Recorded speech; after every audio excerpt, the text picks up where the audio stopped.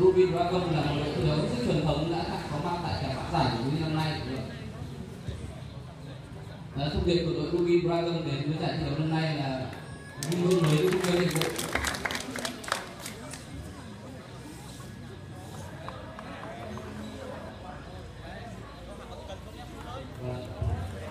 Chúng ta thấy cái hoa tự nhiên có một con rốt rất đẹp với một cái bông hoa.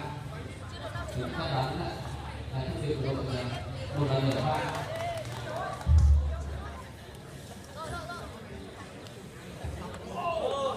这一条卖了这么